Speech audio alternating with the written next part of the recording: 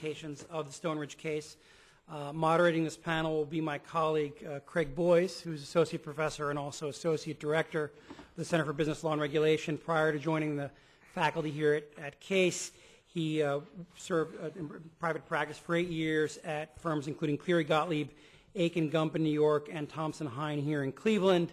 Uh, he uh, specializes and focuses on taxation issues and has actually written an article looking at uh, some of the tax implications of cases like Enron and, and how earnings and other issues are reported.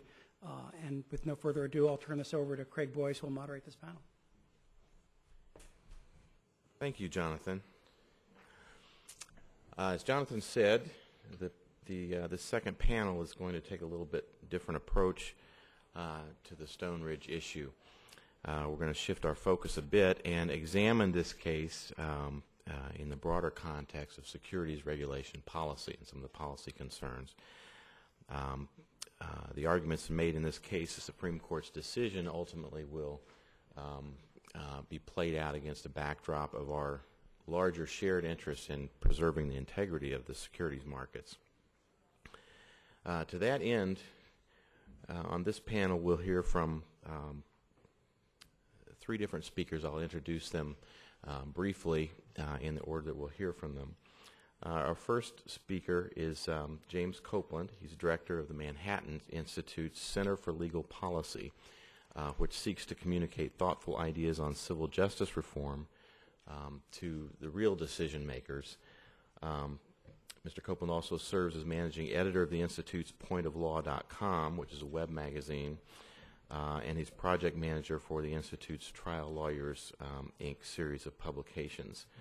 Uh, he's published uh, opinion columns in national, local, and online newspapers, including the Wall Street Journal, the National Law Journal, Investors Business Daily, and the National Review Online.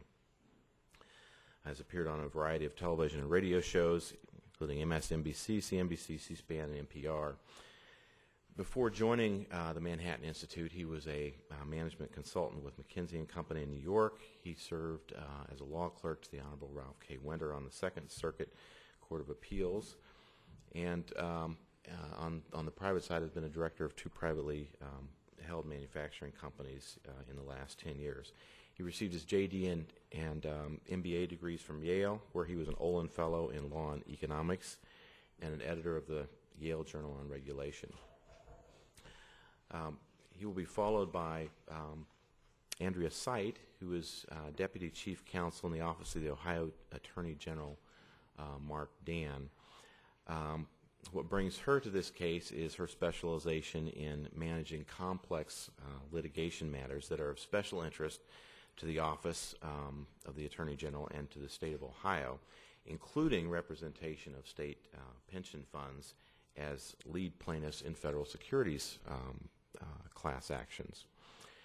Uh, prior to uh, her, her time with the state, she was a litigator uh, for Jones Day in the Columbus, Ohio office, where she represented mostly corporate clients in complex litigation matters, both at the trial and appellate levels, uh, in actions involving products liability, uh, bankruptcy, uh, elections, environmental law, tax, which is near and dear to my heart, and um, um, prior to that, she received her um, law degree and undergrad degree from um, Ohio State University.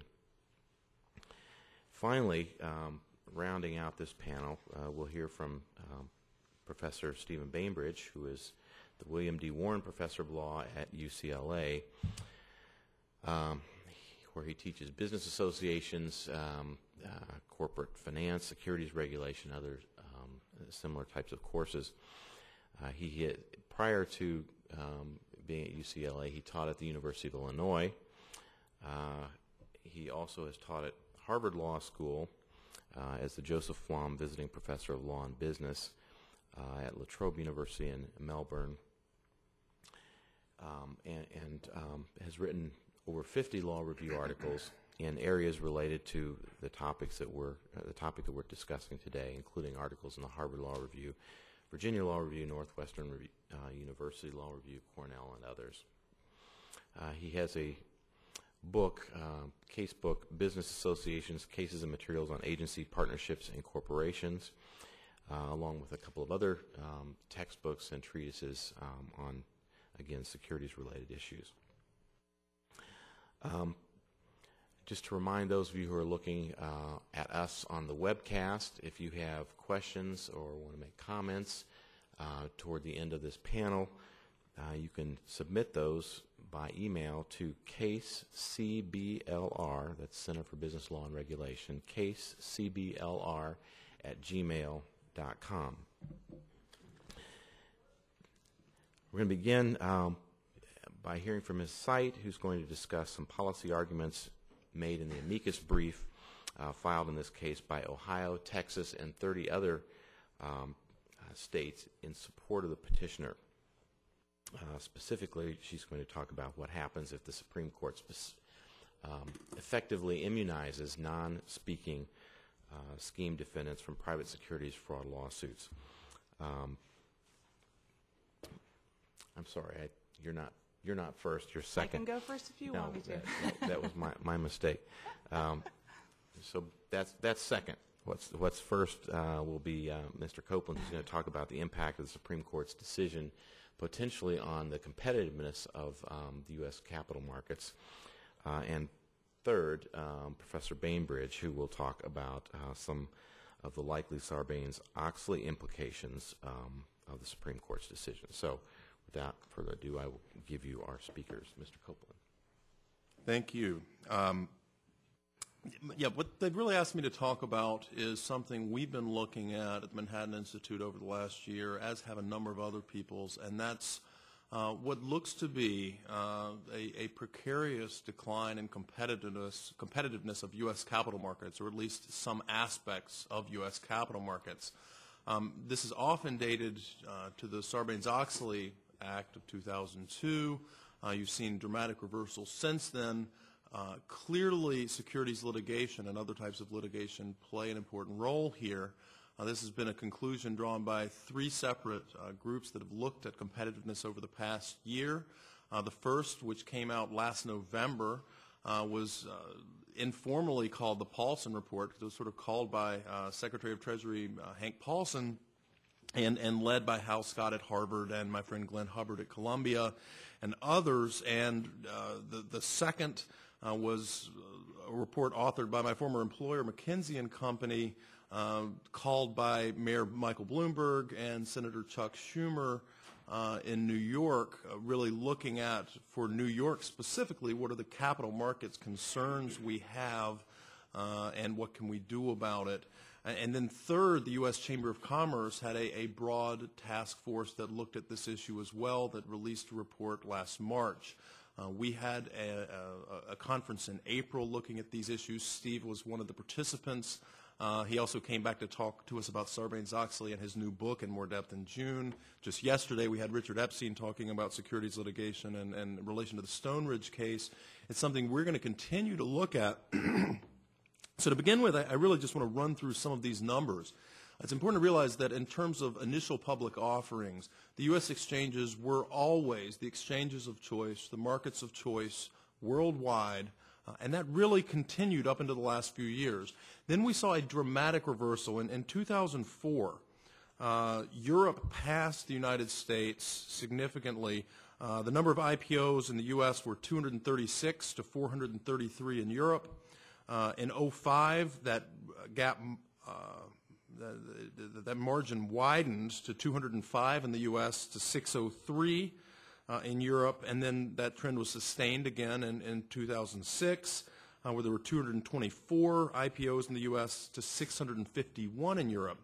Uh, now, the amount of money raised before 2005, uh, Europe had always had never raised as much money as the U.S. Then all of a sudden, in 2005, Europe on its exchanges raised 85% more dollars than the United States exchanges. Uh, in 06, that trend largely continued. They raised 64% more, uh, a total of $40 billion more raised in Europe in 06. Uh, even the Chinese exchanges passed the U.S. in terms of dollar volume in 06, raising 12 billion more. Now, um, to some degree, this erosion in U.S. position is uh, inevitable, and, and uh, it's important to realize that a lot of this is driven from IPOs out of home markets, uh, and they're choosing to raise money on home markets that are now more mature, that are now broader, that are now deeper, and therefore can function to a significant degree the way the U.S. markets have always functioned. However, uh, when you start looking into the numbers more closely, uh, you find uh, when you look at initial public offerings that are out of home market, in other words, looking at IPOs uh, for European companies uh, that are actually in the U.S., although there weren't any in the last quarter of last year, or U.S. companies that were listing uh, in Europe. There were five in the last quarter of last year. Uh, you see significant movement away from the U.S. market in this uh, key index. The last quarter of last year, uh, for instance, there were nine U.S. out-of-market offerings versus 31 in Europe. Um, similarly, and, and this research has largely focused on Sarbanes-Oxley, but if you look at some of the academic research that Kate Litvak and others have done, you start looking at cross-listings uh, and seeing a, a substantial decline uh, in U.S. competitiveness in terms of cross-listings. In other words, companies that are cross-listing into the U.S. markets. And what you're seeing a lot of are, are companies in the U.S., A, either going private, uh, or B, if they're foreign companies, delisting from U.S. exchanges. Uh, litigation is clearly one of the drivers, not just Sarbanes-Oxley, behind this trend. Uh, I was at a competitiveness conference in August at the U.S. Chamber of Commerce, and one of the uh, lead domestic counsels here, or American counsels here for Bayer, uh, which recently delisted from the U.S., talked about their litigation phenomenon in the products liability sphere uh, with the recall of Baycol, which really shocked the U.S., uh, shocked the European, rather, uh, decision makers at the top of the company. 11% of their Baycol sales were in the U.S., 98% of their tort claims resulting from the Baycol recall were in the U.S., uh, and the, the amount of discovery and deposition uh, expense and time that was, was uh, going toward litigation from the top of the company management uh, was really mind-blowing uh, to, to the, to the uh, leadership of the foreign companies. Now, a couple of caveats here. I don't want to overstate this claim. It's important to realize that uh, regardless of which exchanges are hosting new capital, at least at this point in time, and this could erode over the long run, but at this point in time, the United States investment banks are dominant in this field. Goldman Sachs, Morgan Stanley, Merrill Lynch, uh, First Boston, uh, et cetera, are driving these deals around the world regardless of where the markets uh, are, are, being located. Secondly, uh, at least up until recently, there has still been substantial equity available here in the U.S. Uh, for new businesses, for growth businesses. Uh, there's been a large shift towards private markets through 144As and more traditional private equity uh, offerings, really going to uh, institutional high net worth investors as opposed to broad initial public offerings uh, here. Uh, now, now, clearly, some of the tax changes being discussed in Congress uh, and some of the recent interest rate trends and uh, credit crunches could affect this private equity market. Uh, and, and so there is some concern there. Similarly, for me, there's concern uh, whenever you start creating a, a, substantial two-tiered uh, ownership structure, if we were to move to a situation like Italy where uh, we had largely extremely, extremely wealthy people were the main people invested in our major private institutions, it could substantially erode long-term support for uh, our sort of free market capital structure that we've always had through dispersed shareholder ownership. Uh, and, and, if, and, if, we had substantially differing rates of return between private and public markets due to different compositions uh, that were driven by these trends, I think it would be of significant concern.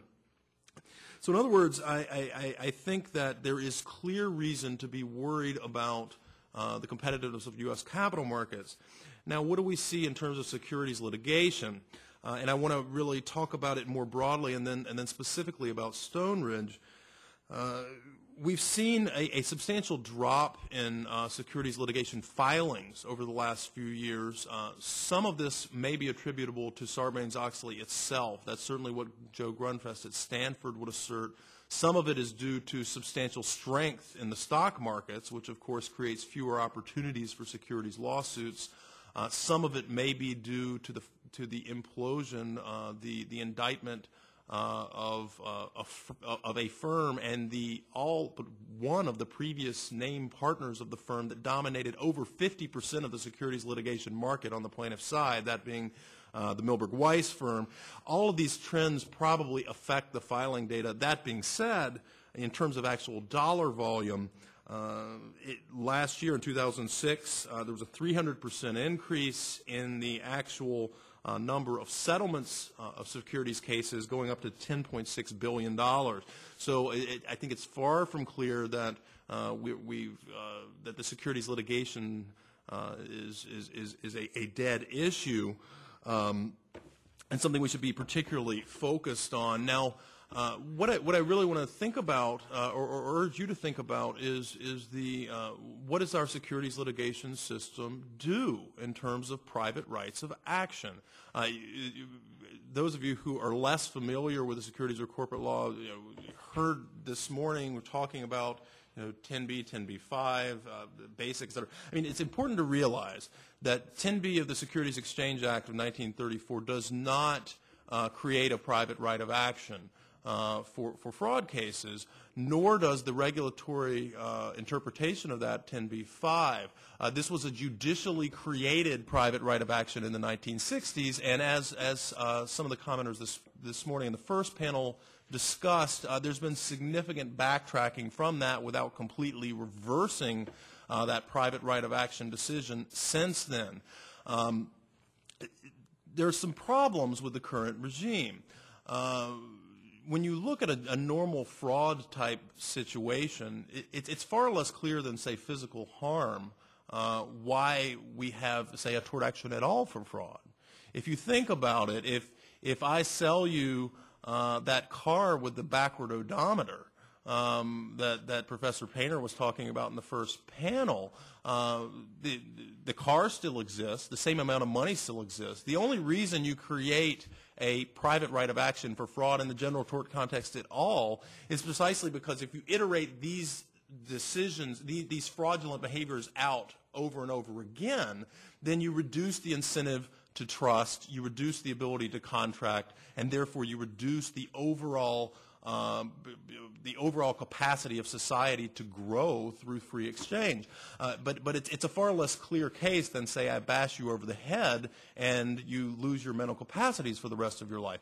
Uh, the, the, way we compensate for this is also less clear. And when you extrapolate uh, out from the basic common law simple situation of, of fraud, uh, selling an odometer where there are a couple players at, at, at issue to a large systematic uh, type of situation like in securities law where you have tens of thousands, hundreds of thousands, millions of transactions often occurring daily in terms of buying and selling of this stock. And you have companies engaged with thousands, tens of thousands of vendors, of contractors. It becomes a much, much more difficult situation to, to, to comprehend.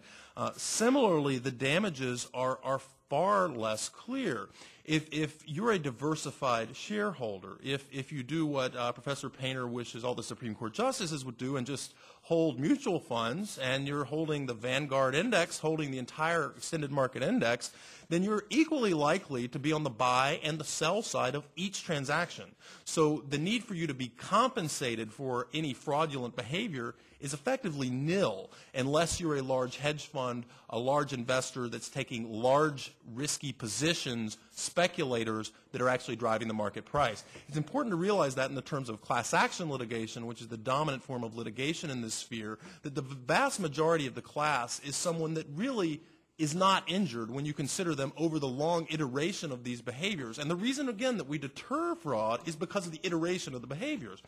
Um, secondly, uh, who's paying? The people who pay for uh, damage and a fraud uh, if, if you are selling a bad car are the people who sell you the car. They book the profit for that car. Who pays in the context of securities litigation? The company. Uh, by and large, this doesn't go through to the actual uh, but in fact, the fictional construct of the company, which is nothing more than an aggregation of individual shareholders, of whom you're likely to be one. You're, if you're a diversified shareholder, you're just as likely to be on the defendant's side as the plaintiff's side. So you really are taking from one group of these shareholders and paying to another group of these shareholders. Therefore, I want to dispel the notion that by and large, private rights of action for securities litigation are in any way necessary in terms of compensating uh, people who are injured. That's particularly true in light of uh, the Sarbanes-Oxley Act, which creates a fair funds provision where the SEC can actually go in there. I'm not saying that private rights of action for large individual shareholders don't have merit in some cases, but, but I think it's important to realize that there's substantial over-deterrence being created by the, the scheme as it exists. Um, and the real reason we would have any securities litigation, any private rights of action at all, is due to deterrence. Now, Unfortunately, the evidence on this, uh, on, on the effective deterrence, is, is, is very mixed. If, if you look in your packet, the, the first article cited here from Janet Cooper Alexander, the, the seminal article, uh, shows a very uh, lack of correlation between uh, damage awards on the one hand and actual wrongdoing or injury on the other. Uh, some, of, some people would say, well, the SEC really can't uh, enforce all of these uh, wrongdoings that are out there on the market. So we have to have the private actors. But in fact, when you look at the empirical research that, say, Michael Perino has done at St. John's Law School, you find that uh, in, in, fact, uh, over two-thirds of the cases, the plaintiff's lawyers are filing after the SEC is already investigating. So in fact, what they're doing is piggybacking on the regulatory scheme we have, getting money in the process, and engaging in this uh, behavior, what I would call predatory behavior to a significant degree on the part of the lawyers, uh, and largely driven by plaintiffs, um, at least historically, that have been either in the pocket of the law firm, i.e., uh, some of the allegations uh, which have now been pleaded guilty to against uh, members of the Milberg Weiss firm, or uh, largely in the pocket of the law firms. On the other hand, uh, even under the 1995 Private Securities Litigation Reform Act, the large shareholder tends to have control of the litigation.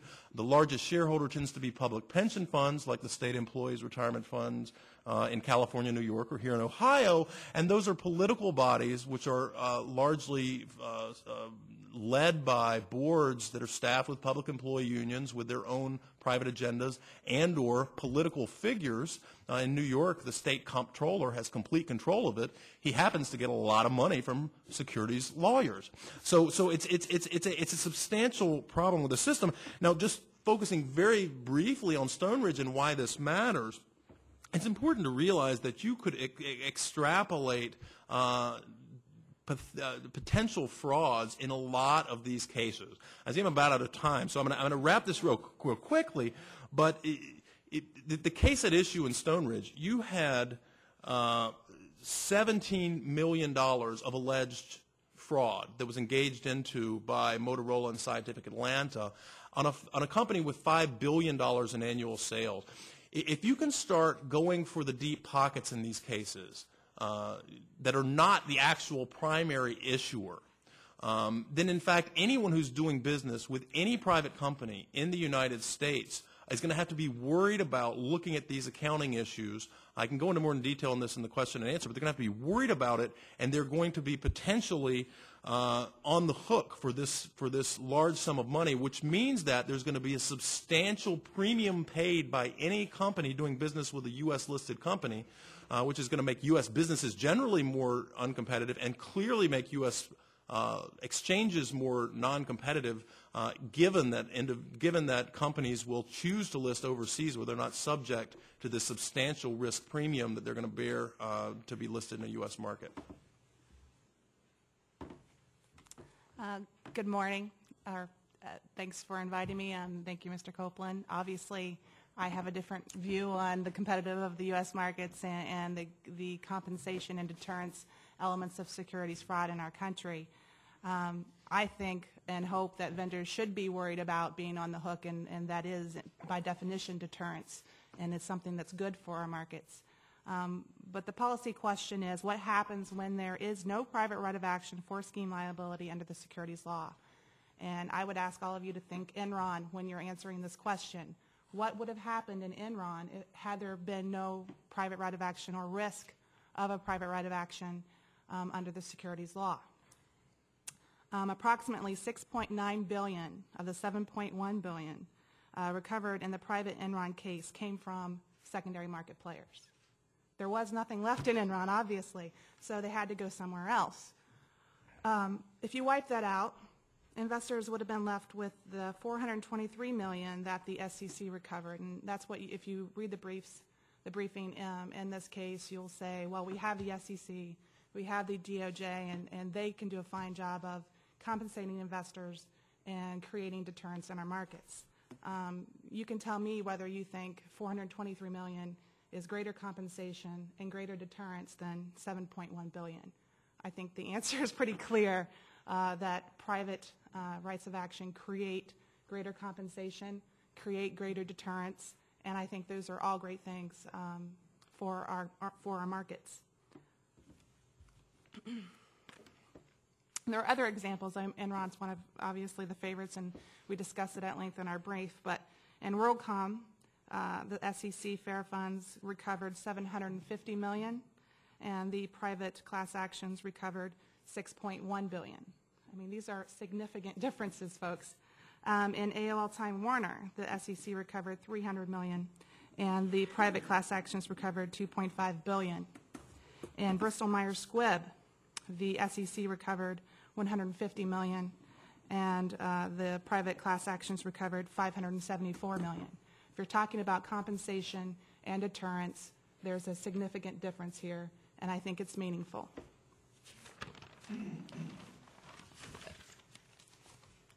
Following up on the SEC, if you give SEC exclusive jurisdiction over non-issuer or secondary market or scheme defendants, whatever you want to call them, um, what is the consequence of that, aside from just the difference in what's recovered?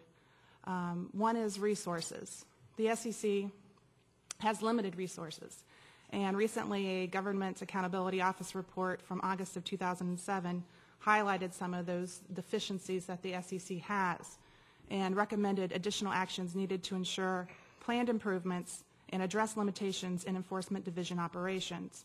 Um, Currently, uh, as of 2006, the SEC had 684 investment attorneys, and that that figure is actually less than 2004 and less than 2005.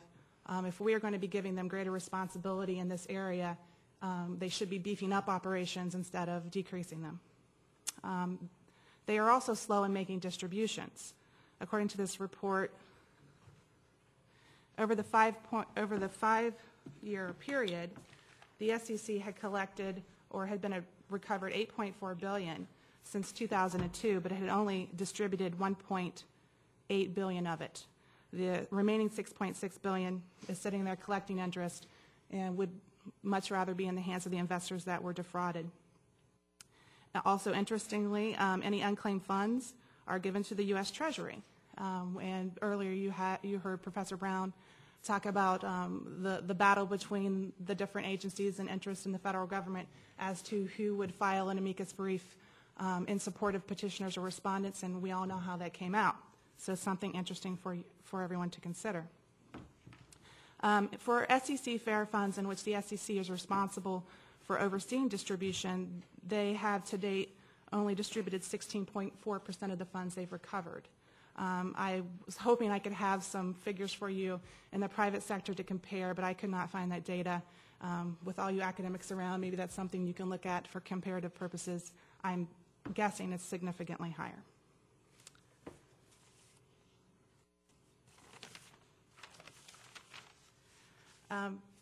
I, I don't want to, I really don't have a lot more time to spend on. I mean, I think to me, the issue, the policy issues are clear. Um, If you're going to allow the secondary market players to escape liability, um, then we're just, uh, we're not do- providing the investors the compensation that security laws were intended to provide. We are not going to deter other players other vendors, I mean, we t- discussed a lot of the vendor cases. What message does it send to vendors that uh, go ahead and, and create these sham transactions, um, be clever and crafty about the way that you do it, and then you can retain your billions in profits while other companies go bankrupt? Um, and I just one other point um, that Mr. Copland raised and that I saw in the briefing um, about compensation, how basically it's a move from one pocket to the other. That's really not true. Um, though we represent uh, large institutional investors and state pension funds um, in the state of Ohio, we're also concerned about the small individual investor. In Enron, there were retirees who invested, um, obviously, their whole life savings in Enron. You may say that that's they're bad for not diversifying, but the fact of the matter is, in Ohio, if we have large companies going under as a result of securities fraud, we want our individual investors to have some kind of recourse. If they cannot go to the secondary market, or those who actually worked actively with them and knowingly with them to create sham transactions which destroyed their company, you are telling those people they have nothing. And to me, that's unacceptable. Thank you. Um, I want to shift our attention a little bit to what might happen uh, if the Supreme Court upholds uh, some form of scheme liability uh, in this case. I'm not saying that it's going to. Uh, I'm not saying that it should. I'm just saying what if. Um, and in particular, uh, as the author of the complete guide to Sarbanes-Oxley, available at finer bookstores everywhere, um, I want to focus on the Sarbanes-Oxley implications. Now, as most of you probably know, Section 404 of Sarbanes-Oxley uh, imposes an obligation upon the company to annually conduct an assessment of their internal controls over financial reporting uh, and to provide disclosure as to the effectiveness of those controls. Now, of course, it's not the disclosure that's made Section 404 so controversial and so costly. Uh, it is the fact that you have to conduct this assessment to determine the, that your internal controls are effective before saying they're effective. Um, as many of you may know, Section 404 has turned out to be immensely more costly than anyone anticipated. When Sarbanes-Oxley was under consideration, Congress asked the SEC to estimate the annual number of man hours, I guess that's not PC, person hours, it would require the average publicly held company uh, to comply with Section 404. The SEC estimated something on the order of 300 per year. Um, FEI survey indicates it's on the order of something more like 25,000. Um, something to remember the next time somebody tells you government gets it right. Uh, they were off by two, count them, two orders of magnitude. now, also relevant to the questions at hand, of course, are Sarbanes-Oxley's sections 302 uh, and 906, which require the CEO and CFO of the company to individually certify, uh, and in particular under section 302, uh, require them to certify that the company has effective internal controls. Now, what's going to happen under these provisions in the event that some form of scheme liability is upheld? Well, imagine that you're Motorola or some other publicly held vendor who are responsible under Sarbanes-Oxley for preparing your annual 404 assessment. I've talked to a lot of uh, business people uh, in writing the complete guide to Sarbanes-Oxley, available finer bookstores everywhere. And one of the things that I discovered was that they've had enormous amounts of difficulty dealing with the problem of creating effective internal controls to relate to vendors. Um, firms have had difficulty getting provisions uh, relating to internal control performance uh, into these contracts.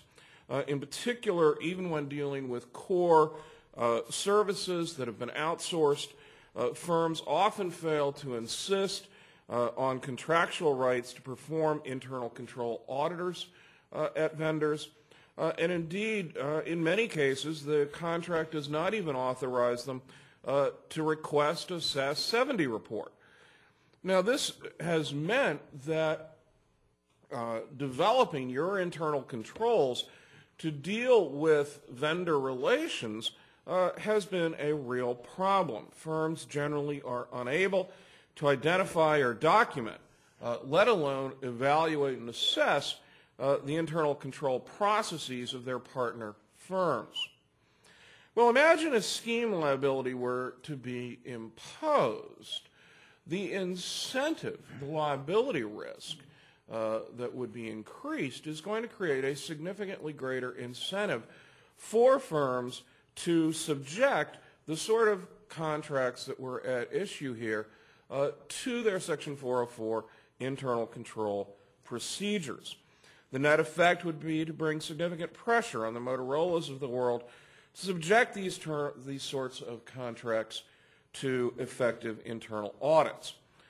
Now, the problem, of course, is, is that in a lot of these cases, there are going to be plausible stories about why the accounting treatment is appropriate, but nobody's going to want to have uh, to sign off on accounting treatment that might push the edge of the envelope without having both their internal and their external auditors sign off on that treatment. So what we're looking at potentially is the very real possibility that you're going to get external auditors in to sign off on how these contracts are being treated. But whose external auditors? We're not talking about Charter's external auditors signing off on Charter's accounting treatment. We're not talking about Motorola's external auditors signing off on Motorola's treatment. That we already have.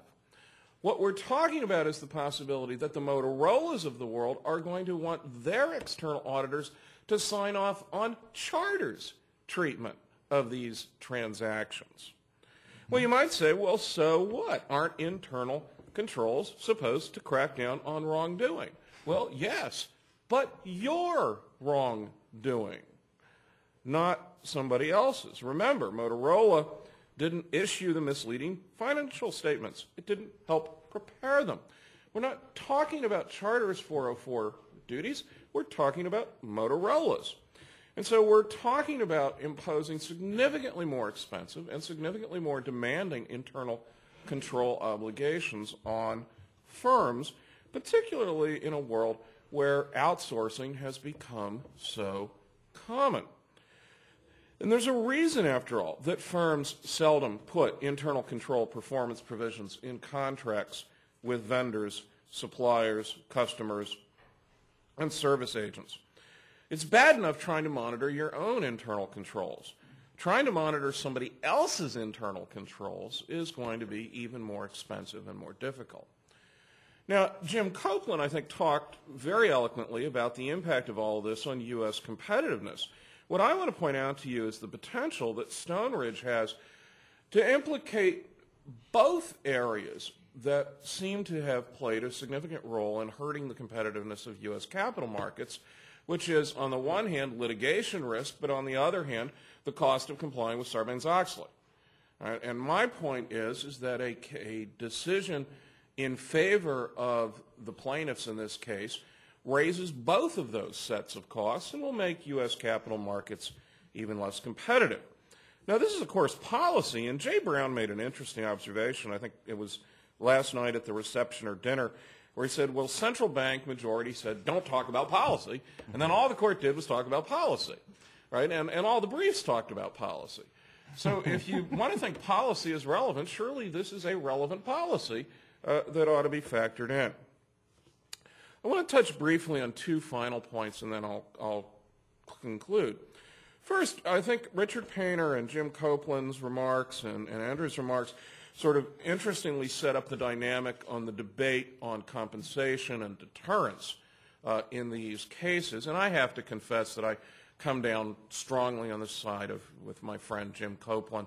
Um, I think these are simply pocket transfer cases. They, with um, you know a percentage going to the lawyers. And, and as a lawyer and instructor of lawyers, I suppose I think that, that that's a good thing. Um, but, but I want to briefly mention the, the other thing that's going on here. When we think about tort liability, I learned in law school a long time ago that tort liability has a number of basic purposes compensation, deterrence, and retributive justice. When we think about who pays, who's going to pay if Motorola and Scientific Atlanta lose this case? Well, Motorola and Scientific Atlanta. Not the people at Motorola and Scientific Atlanta that made the decision, allegedly, to facilitate Charter's fraud, but the companies, which means the company is going to have less money. Shareholders as residual claimants, that means that comes out of the shareholder's pocket. It is an innocent party that pays here.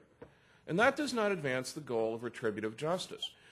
We're dealing with a liability scheme that's fundamentally flawed because it doesn't go after the people who actually committed the wrongdoing. Right? We have to think about changing securities liability to go after the people who actually committed the fraud. Finally, um, I want to uh, pick up on Jay Brown's point about the SG brief. I want to also suggest to you that the Solicitor General's brief is going to be enormously important in this case, but for a rather different reason. Uh, my friend Mitu Gulati and I wrote an article in the Emory Law Journal entitled How Do Judges Maximize? And it's a story basically about how judges make decisions. And in the course of that article, we argued that the United States Supreme Court is institutionally incapable of deciding securities litigation cases. Um, the law clerks typically have not had securities regulation in law school. Um, the justices typically do not come from business law backgrounds. And securities law cases, frankly, are not what get you written up in the history books, right? Pull out books like The Brethren or Super Chief and tell me how many pages are devoted to securities fraud cases. I looked at The Brethren not too long ago, and the only reference I saw to a securities fraud case was in connection with explaining why Brennan agreed with Blackmun in one case because he was trying to get Blackmun to write Roe v. Wade a certain way. this is not cases they care about. They have no institutional reason to care about these cases, and they don't. We said that this is the most significant securities case in a decade.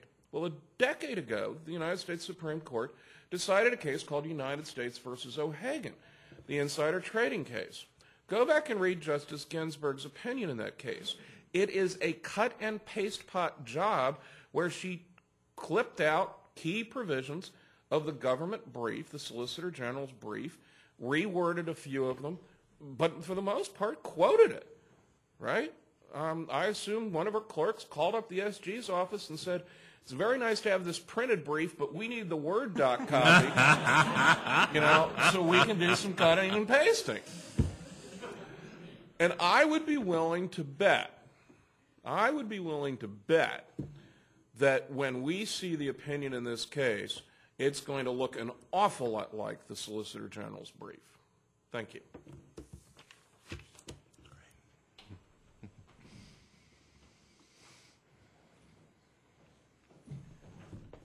All right, thank you to uh, each of uh, the speakers. In the interest of trying to make this a fair fight, although I uh, was vice president of the Federalist Society at Chicago when I was in law school, I have a uh, uh, view on this that more closely coincides with um, Ms. Seidt. So I'm going to start off the Q&A here with a couple of um, questions of my own. I'm going to direct the first one, I guess, to um, Professor Bainbridge. Um, you talked about the unanticipated costs um, that Section 404 um, um, imposed in order to make sure that companies could certify that they had adequate internal controls. Um, isn't it possible that that suggests we had a bigger problem than we thought? And is it the case we want to abandon that simply because the cost of making sure that we had adequate internal controls was high? Well, the question I think is is is a fair one, um, but the question that we have to try and grapple with is whether um, there really is a correlation between what we're spending on 404 and the uh, existence of internal control difficulties um, and problems under uh, that companies have experienced. It is certainly the case that at many companies, internal controls were inadequate. And one of the explanations for why securities filings have been down recently has been that better internal controls has meant that there's been less fraud. And so you can make the case for, in that regard, for saying, well, we needed something like 404 to ramp up better internal controls. The problem has been, number one, did we need to spend as much on 404 as we did uh, in order to achieve that result? Number two, do we need the recurring costs? And one of the things you have to remember is that 404 is not simply costly in the first year you're subject to it, but there are massive recurring costs year in and year out for the annual assessment that's required. Um, uh, you know, every year if you use SAP's 404 compliance software, they sell you a new software package, and that starts at half a million dollars, right? Um, and so, you know, in the cost-benefit analysis, what we're talking about is raising the costs of, of 404, where it's not clear to me that we're going to get much in the way of benefit, because we are, after all, talking about um, people having to take responsibility for the effectiveness not only of their own internal controls now, but also for looking at how their um, partner firms are accounting for these issues. Which, which brings me to the second question I had for you. Isn't it the case in, in uh, Stoneridge, at least, that um, the vendors had to look no further than their own internal controls? Isn't that what we're talking about here? Is the fraudulent behavior within the vendor, within within the vendor? In, in other words, was it necessary in this case for Motorola to certify what was going on at Charter? Um, they had to look no further than their own internal agreement um, to, to price these boxes at a price that was in excess of um, uh, what was appropriate. Well, it, it depends, though, on, on whether you believe the second amended complaint, I think. Um, and I guess there are two responses that. One is um, if what you're saying is that liability is going to be only exist where you have the facts as Jay outlined them from the second amended complaint, so that you know that all you have to do is worry about catching your own internal misconduct, uh, then I think um, you're right. The problem, of course, is is that the original allegations basically were that um, that they knew or recklessly uh, should have known uh, about the way Charter was handling its accounting treatment and that they were essentially facilitating Charter's accounting treatment. If that's going to be the touchstone of liability, then you're clearly going to be concerned about Charter's accounting treatment. The other issue that I think is relevant to that analysis is the discussion that we've already had about the incentives to settle these cases, right? Um, because these cases potentially involve such large dollar amounts, I think firms will have to be concerned with not only how they're accounting for these, these transactions, but also looking at how their partner firms uh, are accounting for these transactions. Um, particularly because evidence, when, when the SEC went after AOL Time Warner in the AOL Time Warner Bertelsmann case, um, they not only went after AOL Time Warner, but they went after Bertelsmann um, based on how AOL Time Warner had accounted for these transactions. And so you know, there is this potential, uh, I think, that they are going to have to be concerned about the accounting treatment that their partner firms are using. So maybe there's room for a, a split in, in the rule depending on whether we're talking about pleading or ultimate liability. Um, I have a couple more, but I'm going to um, ask, um, open this up for questions either from folks um, uh, viewing on the webcast or here in the room. And, and just as a reminder, again, if you have um, questions that you'd like to email, you can email those to casecblr at gmail.com. Question for all of the panelists. Um, wouldn't it make sense to uh, repeal Section 404 of Sarbanes-Oxley and restore aider and abettor liability, uh, perhaps, uh, to uh, revisit the decision that apparently has been made by Congress and the courts to cut back on plaintiffs' rights in civil litigation with the 1995 Act, the 98 Act, and of course all these decisions, and yet on the other hand to ramp up regulation uh, in ways that is uh, very expensive for business and very difficult to comply with, and 404 probably being the most egregious example. Maybe that trade-off, um, that, that swapping out of uh, civil litigation for regulation has turned out not to be worth it. Should we revisit that issue fundamentally from a philosophical point of view?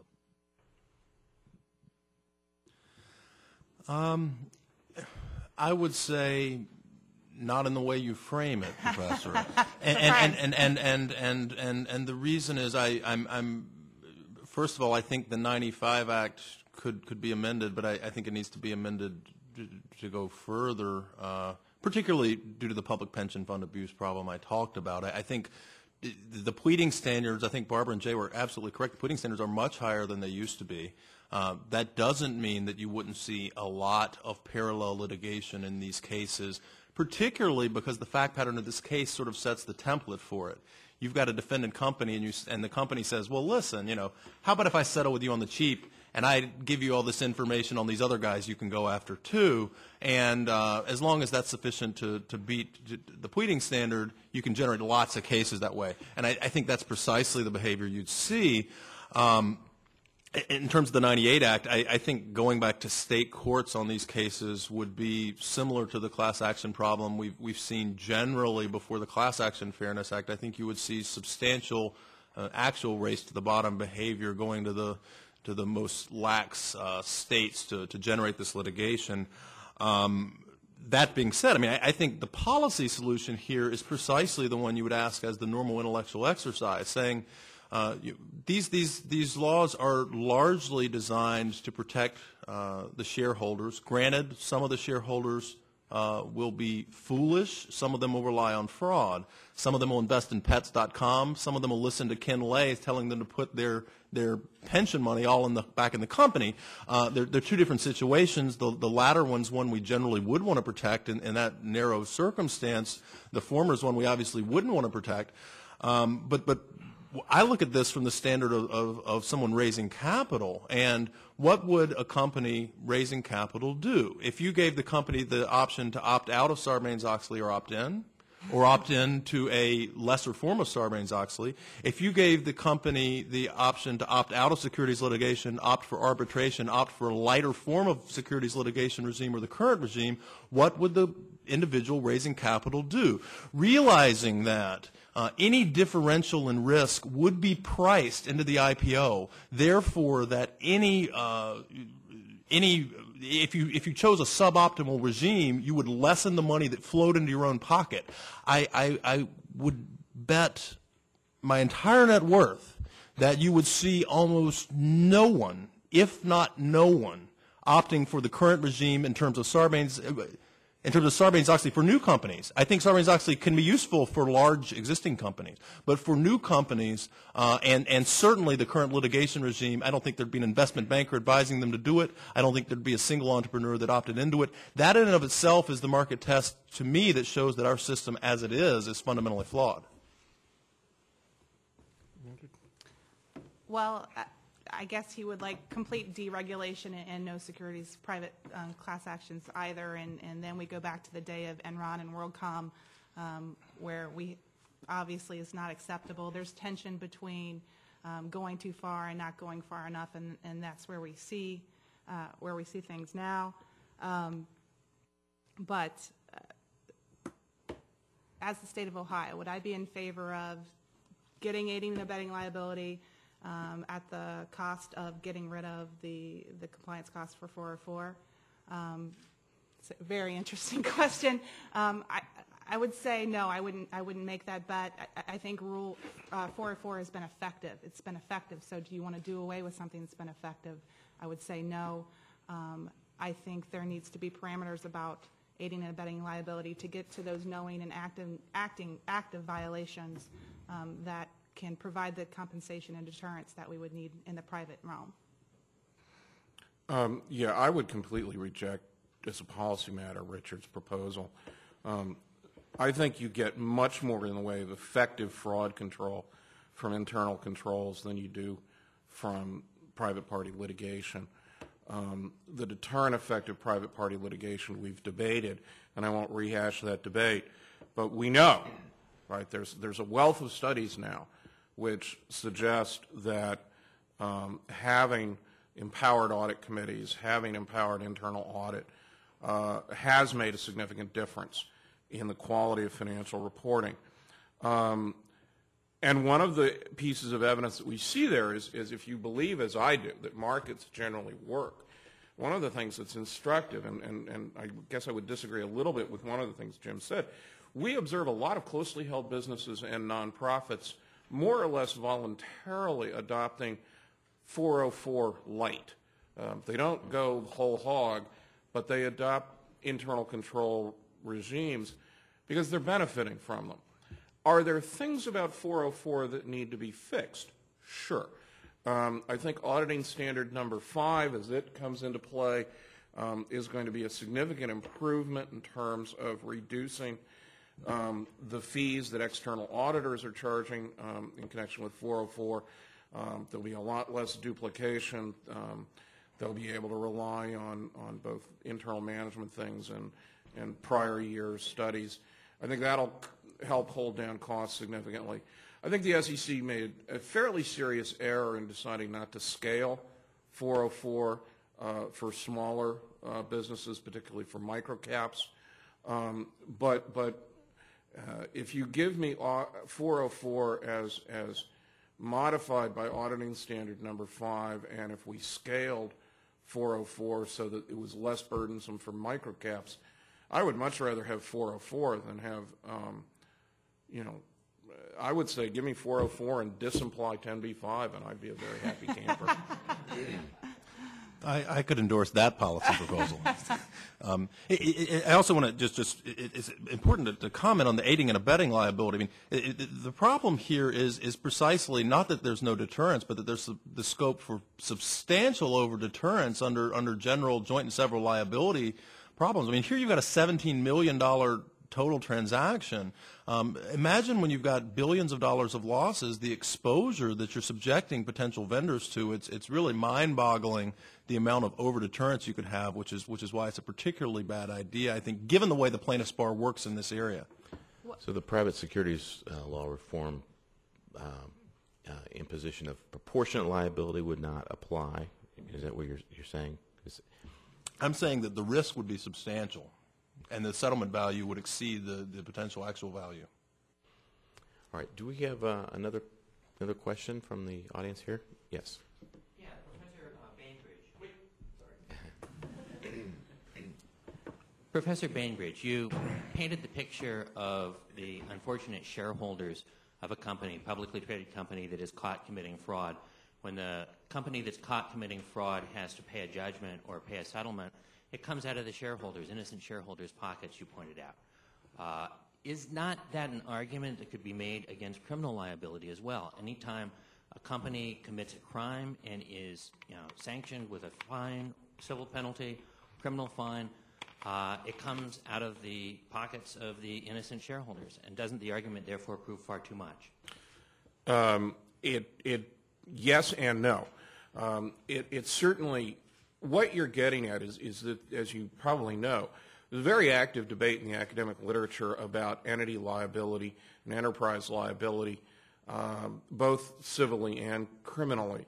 Um, I happen to be one of those that believe that we've made a fundamental error uh, in our policies in both the criminal and civil law with respect to enterprise issues. Um, uh, the Baron Thurlow famously said, um, you know, how do you expect to punish, I'm paraphrasing here, but basically, how do you expect to punish a corporation when it has no soul to be damned, no body to be kicked?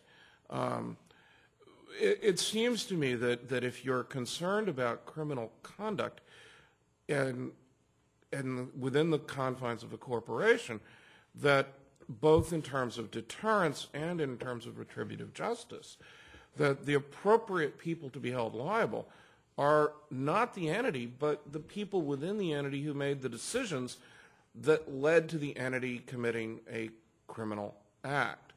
And, and I've maintained for 10 or 15 years in, in various writings, that, that we need to rethink the whole question of enterprise liability to focus on the agents of the corporation who commit crime or commit fraud as opposed to the entity.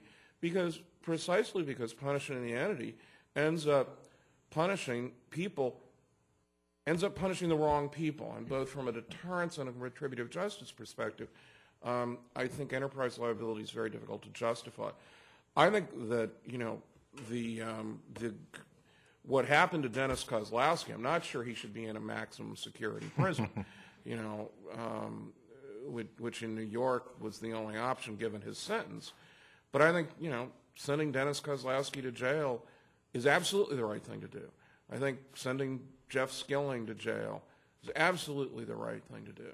Um, I'm not sure holding Tyco responsible for what Kozlowski did would have been the right thing to do if they had done that. But, but, but we are talking about a, from, from, from your perspective, a wide-ranging repeal of corporate liability for crimes. Oh yeah, yeah. I I, I don't have any bones about that. Yeah, I, I would just as leave.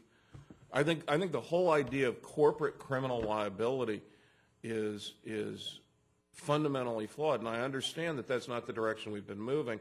Certainly, the federal government has been ramping up corporate criminal liability, but but both from a moral perspective of retributive justice and from an efficiency perspective of deterrence, I think that that that we really ought to be focusing on people, right? You know.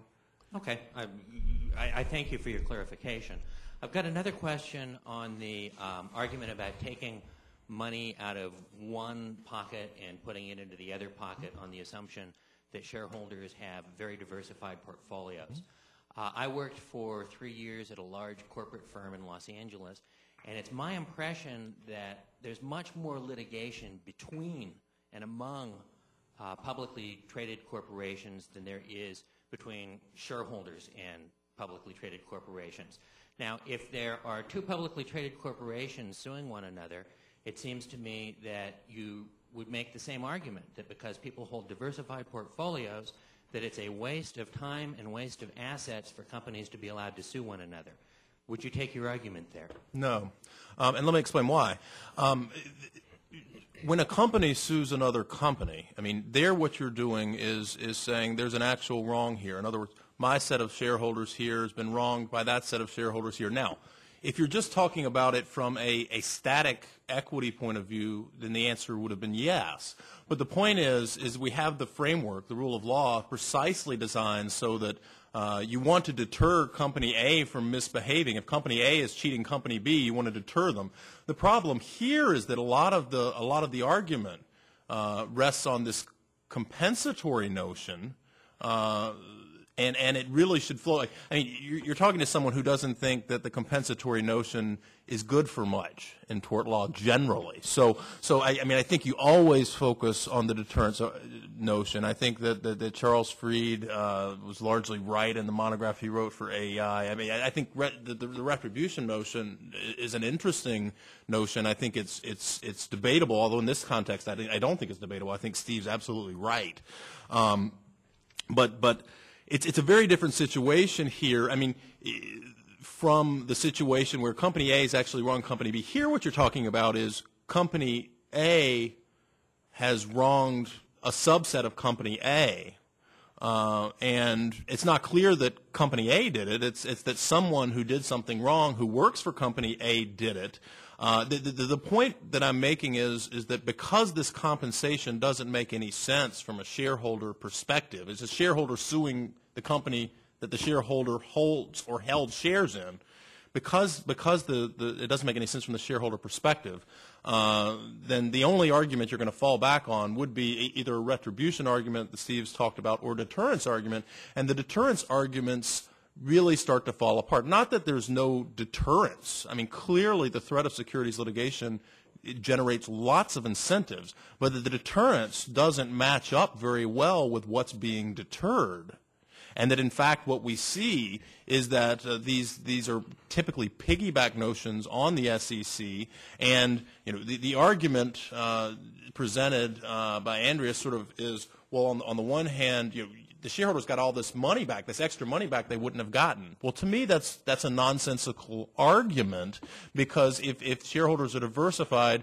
you know, they're they're taking it from other diversified shareholders. Now, if it's a deterrence point of view, that's a that's a different function. But it's it's not clear to me that that that deterrence is actually working in any efficient way. In fact, I think. Um, you- see quite quite the op- the evidence goes the other direction. I mean, you see capital fleeing from this regime. I think we may have a question maybe from uh, somebody viewing on the webcast. Yeah. Was the question, uh, Mr. Copland mentioned before the, the competitiveness issue, and there's a question about how is the liability regime meaningfully different in, in foreign markets that are, where companies are, are, are relisting or could relist or, or engage in joint listings? I mean, essentially, you don't have these rights. I mean, that, that, that's, that's the short answer, is, is, is essentially what, what we have in terms of, of U.S. shareholder litigation is, is by and large not seen in these foreign markets. Um, in terms of regulation, the regulations are going to vary abroad. Uh, uh, clearly nothing as onerous as, as uh, what you see with Sarbanes-Oxley. So um, there are pros and cons to that. Um, I mean, I think historically, um, you know, our markets, the, the, the net positives outweigh the net negatives. I, I think there have always been significant costs since private rights of action were implied. And, and, and realize, I'm not saying there should be no enforcement of fraud provisions here, but since the private rights of action have been implied, and really since uh, you know, Mel Weiss and, and Bill Lerach, et cetera, developed this sort of model uh, for enforcing those private rights of action. I think there have always been serious costs, but I think that the depth and breadth of U.S. capital markets uh, and and the, the the experience that you had here with the interpretation of the rule and law was sufficiently robust that it outweighed any of the costs of that regime. Obviously, the market's speaking now, and that doesn't appear to be the case anymore. If I could just follow up on that, um, instead of I mean, is, is, is it your sense that the difference is a substantive, more substantive one about the, what the standards for liability are, or procedural in terms of whether or not there are private rights of action, and also perhaps, as I think Professor Painter mentioned before, the fact that at least in European markets, for example, you're going to have a loser pays rule for litigation, where litigation is, I mean, is it a, is it a difference in the, in the procedural rules about how one would advance certain claims for liability, or is it just that there's very little liability or very little non-governmental uh, enforcement for these sorts of actions? That's an interesting question, and I'm not sure I know with specificity the answer, except to know that this litigation doesn't occur in these foreign markets. Now, now clearly, the loser pays provision, I think, uh, is something that uh, it's something we, we've been talking about at the Manhattan Institute for a long time. It's something we're looking at now. It's something that I think, in, in, in part, could make a big difference here in the U.S. Now, with this securities litigation uh, situation, it would drive out some of the most vexatious types of it. Now, I, now my sense is how much more would it drive out that wasn't driven out by the 95 Act? You know, I don't know. Um, in, in fact, it's sort of the interim effect of these suits, the massive risk of, of completely capsizing the corporation, the incredible stock price pressure put on continuing headlines, et cetera, that, that drives a lot of these towards uh, inevitable settlement. So I, I'm not sure that loser pays would, would fix it. I, I think it would be a step in the right direction, particularly if it was I mean, if it was an assignable interest, an insurable interest, or uh, clearly these large players, the former Milberg Weiss firm, uh, the successor firm that Bill Lerach started, and, and, and some of the folks that have gobbled up the old Milberg Weiss attorneys, and they, they clearly could uh, self-insure uh, across a lot of these cases, given the amount of capital that they have and that they've made and raised. Well, you know, you've got loser pays in most of these other major capital centers. Um, in many of them, uh, you don't have contingent fee litigation.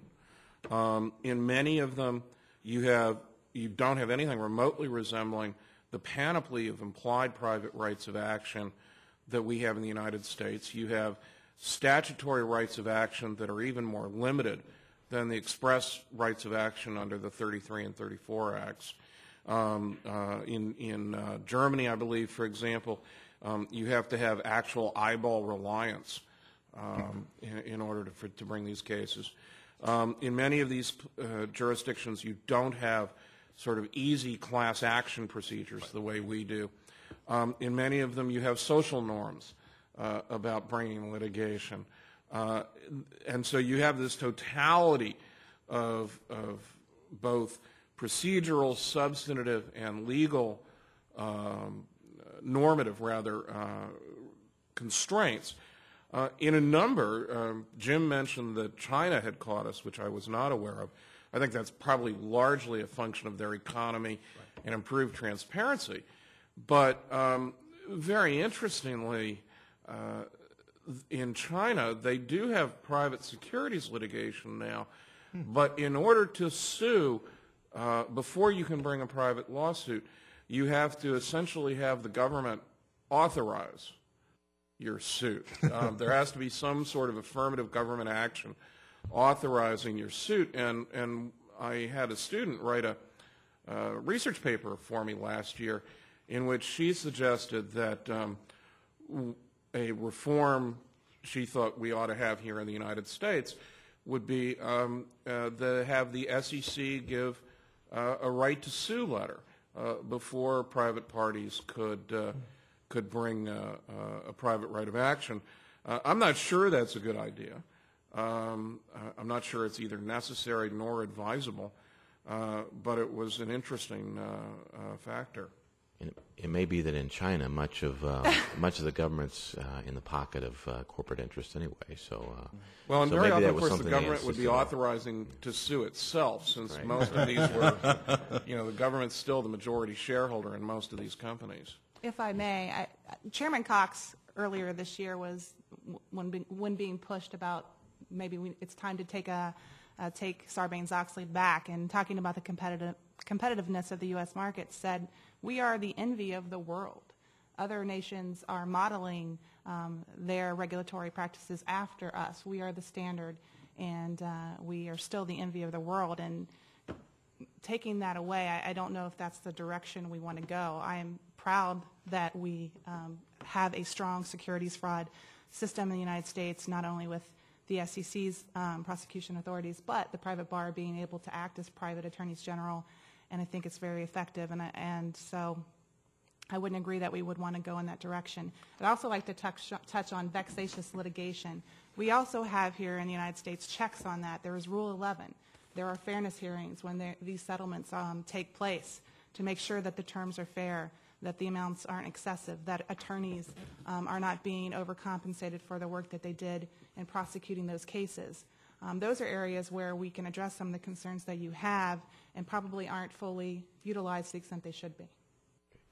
All right, we're out of time. Um, um, do, do, agree with you on that. do you want to take one more question? Or? Okay, we'll take one there in the back.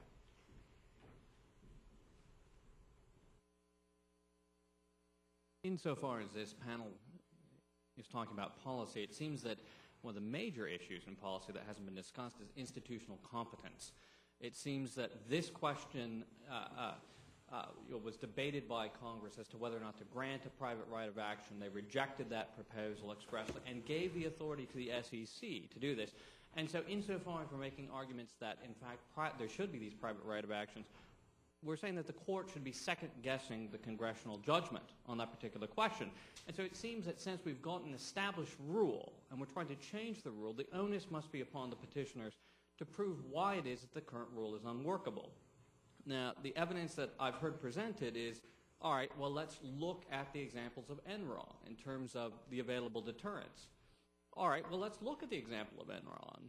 Let's look at Arthur Andersen. It no longer exists. So the question, I suppose, in terms of deterrence is one, one, you need to look at the question of institutional competence. I think there's a, there's a serious question as to whether or not it should be the role of the court when they're cutting and pasting briefs, uh, whether or not they should be you know, second-guessing congressional judgments on this.